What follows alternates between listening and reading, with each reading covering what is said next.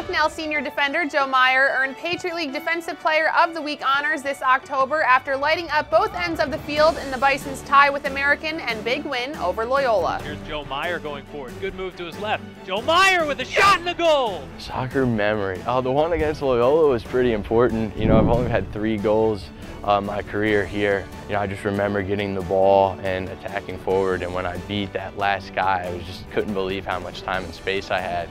And so when I hit that ball with my left foot, which is my weak foot, everything kind of slowed down. It was slow motion when I saw it going in the corner. I knew the goalie wasn't going to get it, and I just, I kind of lost my breath for a second. And as soon as it went in, I turned and just, you know, I knew my teammates were going crazy, so I just ran over. I think I did a knee slide, and I think you know, Maiwa was shaking his arm like in a circle, and it was just, it was a great experience, and uh, you know, hopefully more will come. Joe Meyer has been enjoying some well-earned great moments on the soccer field this season, and as the senior mechanical engineering major rounds out his studies on the Bucknell campus, he's been able to appreciate the accolades he's receiving in the academic world as well. The Maryland native has one of the highest GPAs of any Bucknell student athlete and is going to be presented with the Society of American Military Engineers New York Post Award this November. It started when I was little. Um, I loved playing with Legos and pretty much anything that moved. And I remember asking my parents if there was a job uh, that entailed, you know, kind of doing those kinds of things. And they told me an engineer. And so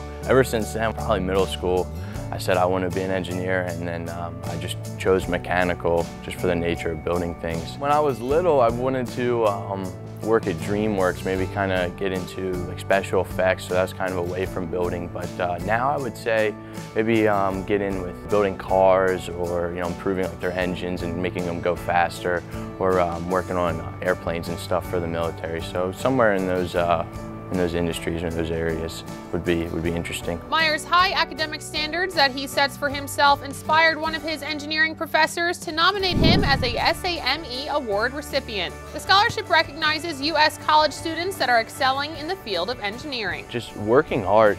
I can't tell you how many people I see that are just, they're brilliant and very intelligent individuals, but they don't have the work ethic to, you know, go as far as they possibly could.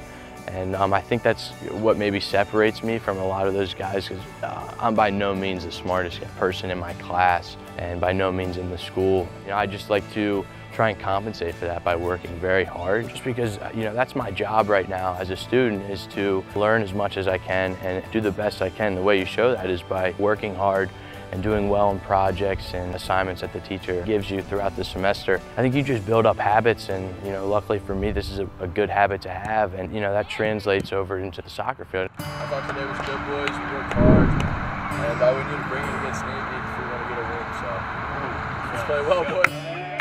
I work very hard there as well. It's a different kind of hard work. Obviously, there's a lot of you know, physicality involved with fitness and, you know, just training with the guys. But I think in both situations, you're working hard to achieve a goal. One, two, three, one. That goal is very important to me. One, you know, I relate that to doing well um, in the working world. And the other, I relate to, you know, just performing for my friends and, and helping, you know, rep to represent the school's athletic program um, in soccer. It's kind of funny. I've learned maybe more on the field than I have in the classroom in terms of what can, you know, help me in the future and in life, just in terms of principles and, you know, being disciplined. Coaches do a great job at that. You know, I haven't received many awards up until now, and I think it's funny because when you're working hard and you're like, man, is anything ever gonna come my way? I know no one ever wants to say, man, I deserve an award or, you know, hopefully something's coming my way, but I think if you just continue to persist and work hard and are doing things right, things will eventually come, whether that's an award or, you know, just someone saying great job and noticing that you're doing,